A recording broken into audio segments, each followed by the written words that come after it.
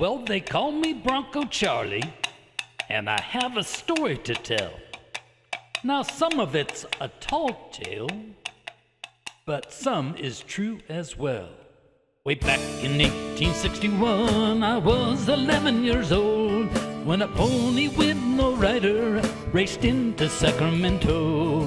That pony carried mail sent by the Pony Express in lock mochila pouches to join the East and West. Where the mail must go through, the mail must go through. It's the motto of the Pony Express. The mail must go through.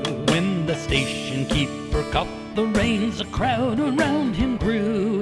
He said, I have no rider to take the mail on through. But the Pony Express motto is the mail must go through.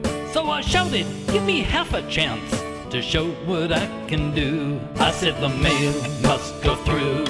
The mail must go through. It's the motto of the Pony Express. The mail must go through. I've ridden the route to Hangtown. I know the Placerville Trail.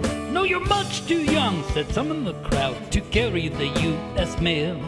The station keeper had no choice, so he saddled me up to go. Off to ride the 45 miles east from Sacramento. Yes, the mail must go through. The mail must go through. It's the motto of the Pony Express. The mail must go through. I rode all day and through the night, got lost and found the station. A new rider strapped on the mail to the fresh pony waiting. The next day at the station, the Eastern rider arrived, but he couldn't finish up his route with an arrow in his side. He said the mail must go through, the mail must go through. It's the motto of the Pony Express, the mail must go through. Then the station keeper told me, now you work for the Pony Express. So I took the oath and delivered the mail in record time, no less.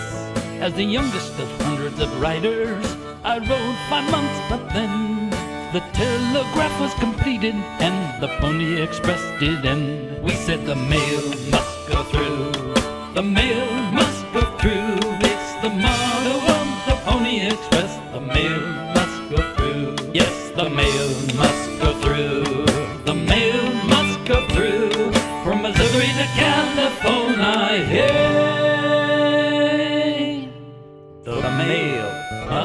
go through.